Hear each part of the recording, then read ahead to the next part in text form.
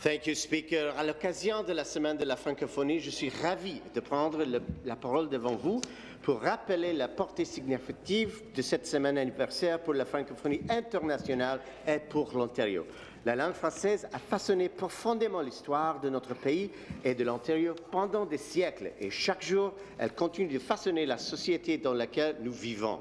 L'Ontario compte dorénavant plus de 600 000 franco-ontariennes et franco-ontariens qui contribuent pleinement au dynamisme économique, culturel et démographique de la province. À l'image de notre province, la communauté franco-ontarienne représente une mosaïque de francophones venus d'ici et d'ailleurs.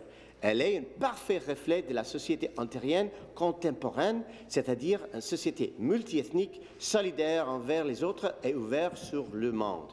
Oui, la langue française est inestimable pour notre province sur le plan local, national et international. D'ailleurs, en tant que nouveau membre de la grande famille de la francophonie internationale, au sein de l'Organisation internationale de la francophonie, l'Ontario tend maintenant la main au monde entier afin de créer des alliances et des partenariats. D'ailleurs, l'Ontario, qui est la province qui compte le plus de francophones au pays au dehors de Québec, joue un rôle moteur au sein de la francophonie canadienne. Et en terminant, j'invite officiellement tous les francophones et tous les francophiles de partager leur fierté et en utilisant sur le Twitter mot-clic hashtag mon 20 mars. Merci. Merci beaucoup.